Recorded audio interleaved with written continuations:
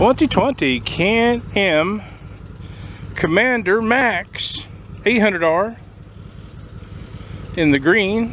It's got a nice top, half window, seats are in good shape. Everything looks as it should.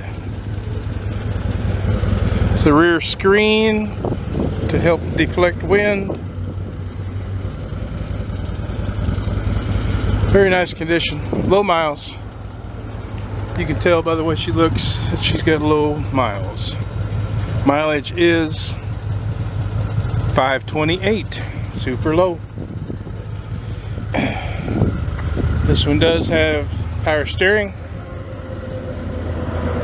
If you're interested in this 2020 Can-Am Commander Max, please give us a call at Mega Motorsports in West Plains, Missouri.